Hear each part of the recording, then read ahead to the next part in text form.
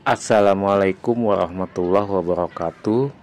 Salam budaya Berjumpa kembali bersama saya Krisepu Channel.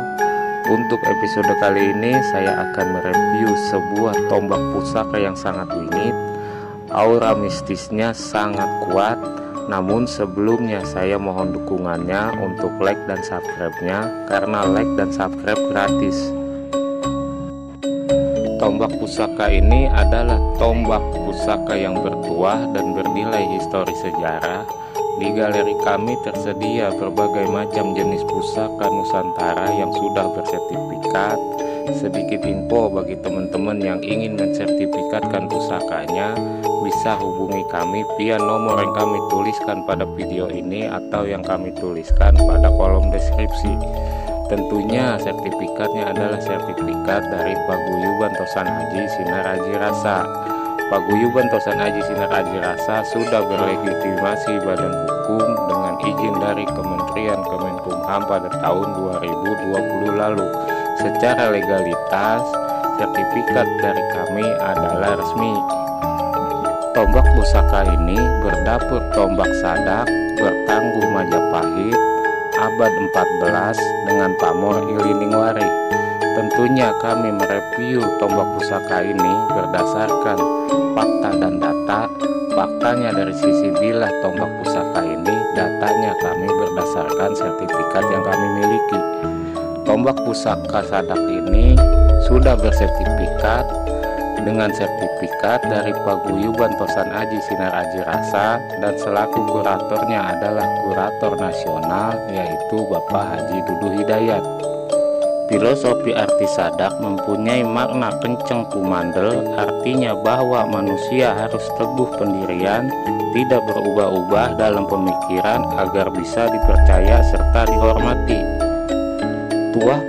pamor Iliningwari adalah simbol sebuah harapan agar rezeki pemiliknya bisa terus mengalir seperti air dan bisa memiliki kehidupan yang tentram tanpa masalah.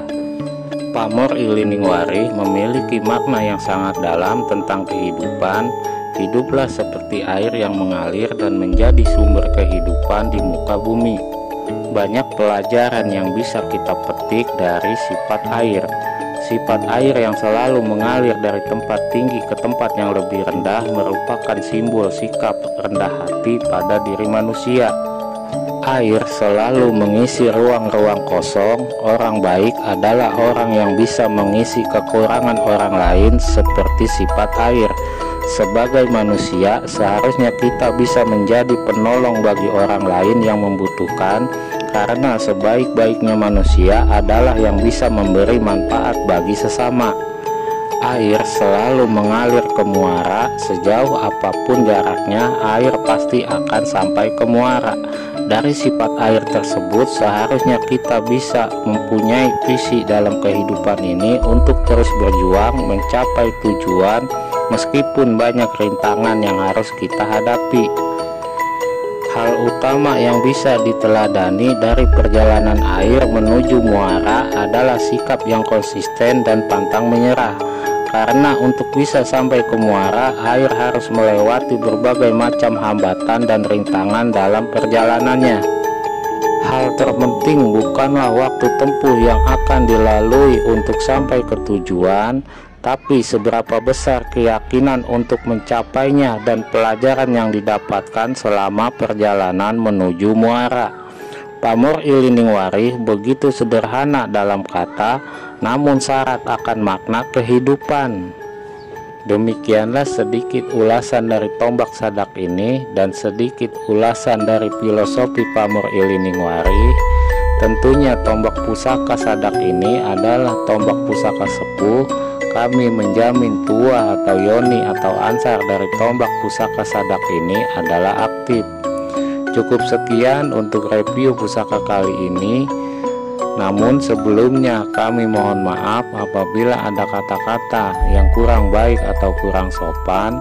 Sesungguhnya kebenaran itu hanya milik Allah Subhanahu wa taala dan kesalahan hanya milik saya pribadi. Wabillahi taufiq wal hidayah. Wassalamualaikum warahmatullahi wabarakatuh